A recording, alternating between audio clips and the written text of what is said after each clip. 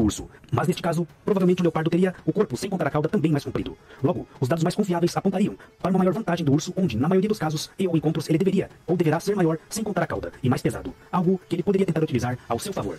Por isso, neste item, ponto para o urso preguiça.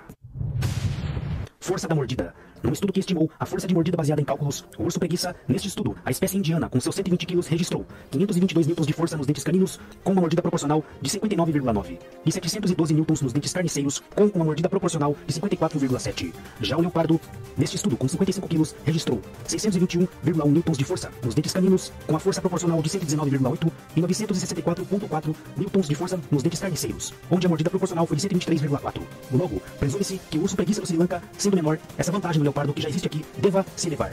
Por isso, neste item, ponto para o leopardo. Garras. O leopardo possui garras afiadas